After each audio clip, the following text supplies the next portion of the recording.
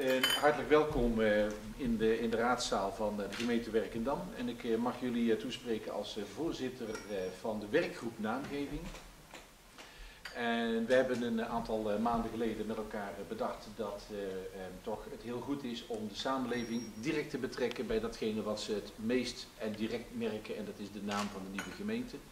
En dat heeft toegeleid dat we op die manier hebben gesteld, weet je wat we doen? Wij gaan een verkiezing daarvoor maken. Een echte verkiezing, geen raadpleging, geen referendum, een echte verkiezing. En dat hebben we op die manier eh, met de raadswerkgroep hebben we dat heel zorgvuldig eh, opgebouwd. En uiteindelijk ook door de fusieraad is dat eh, geaccordeerd om op deze manier een verkiezing te maken. Jullie weten, we hebben 808 namen uit mijn hoofd als, als suggestie binnengekregen. Dat waren niet allemaal 808 identieke namen maar wel te groeperen rond een aantal. Daar heeft uh, René Bastiaans, René Bastiaansen heeft daar uh, met uh, zijn commissie, een afvaardiging uit deze regio, heeft dat hele proces gefilterd.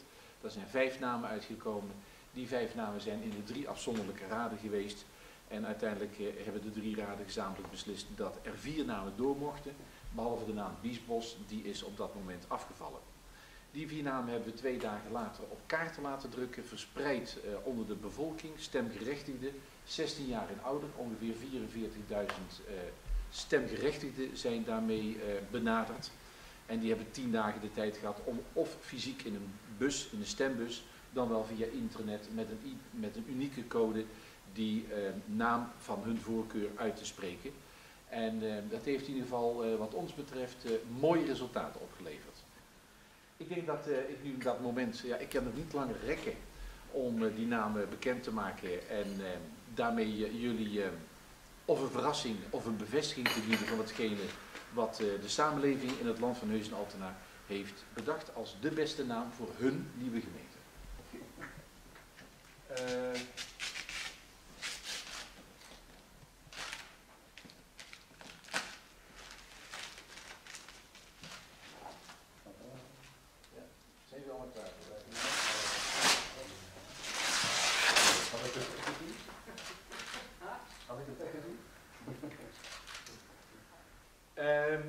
Sommigen van u zouden kunnen zeggen van dit wisten we toch allemaal al lang. Want die naam is natuurlijk al wat vaker geroepen, ook in mijn richting eh, als uh, waarnemend burgemeester. Um, en dan denk ik van ja, die naam zou inderdaad een aantal mensen genoemd kunnen hebben. En dat is ook inderdaad gebeurd. Overigens net zoals andere namen. Ik heb al eerder verteld, alle gouden bruiloften vraag ik altijd aan het echtpaar van uh, welke naam vinden jullie nou interessant. En dan krijg je heel veel verschillende namen. Maar Altena is inderdaad ook vaak genoemd.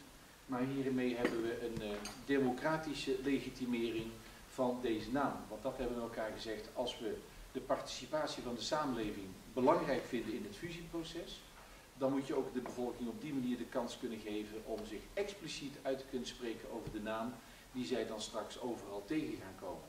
En nogmaals, voor degenen die dat uh, uh, graag nog eens een keer willen horen, met name misschien kijkers of luisteraars, dat wij uh, gewoon straks hebben dat er staat bijvoorbeeld Werkendam, of er staat ergens Aalburg en eronder staat in kleine letters, zoals het nu ook is, gemeente Altena. Voor de volledigheid meld ik er even bij dat op 12 december de drie gemeenteraden apart de uitslag van deze verkiezing ook uh, via een raadsvoorstel krijgen aangereikt en op dat moment ook bevestigen dat dit de naam is die wij straks in het herindelingsadvies zetten en dat advies ook doorgaat naar de provincie en naar het Rijk, om op die manier dan deel uit te kunnen maken van het besluit dat uh, in het wetswijzigingsvoorstel komt te staan straks als het 1-1-19 is, als de gemeente dan echt tot een fusie is gekomen.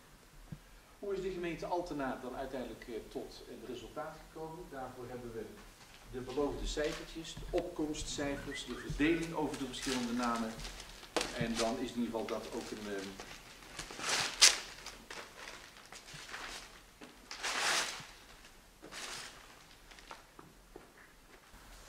Jullie uh, zien hier dat uh, Altena is door 70% van de bevolking gekozen als de meest gewenste naam. En in totaal hebben 18.875 mensen hun stem uitgebracht.